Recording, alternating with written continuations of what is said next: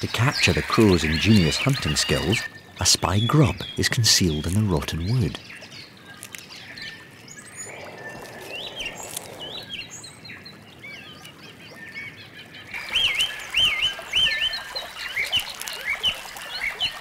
The crow's keen vision soon pinpoints the real larvae, but it won't be easy to reach. However, this is a bird with a plan.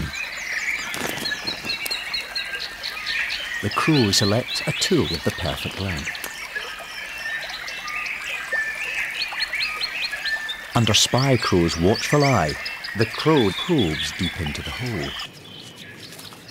But he's got to get the grub to bite, and that's not so easy.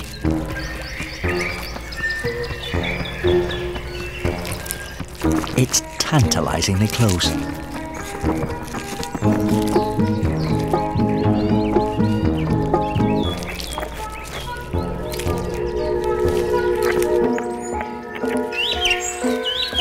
The stick is a bit too long, so he decides to shorten it. It's now spot on. His newly acquired skills pay off. Spy Crow tests how difficult it really is.